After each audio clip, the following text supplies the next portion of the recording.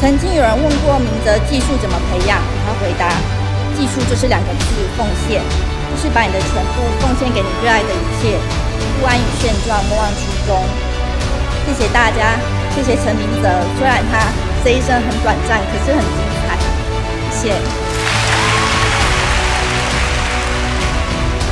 第五十九届金马奖最佳剧情片得奖的是。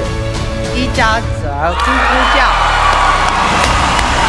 我想对我我的观众说一下，我我知道你们都在，一定在，我们一起走下去。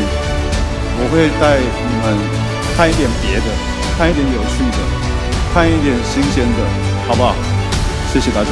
金马奖最佳导演得奖的是陈洁瑶。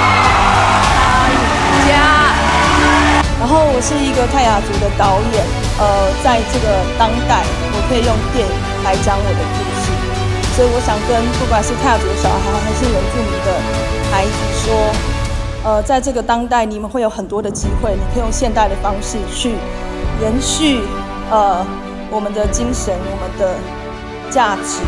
我很幸运，就是我在世新大学电影系毕业。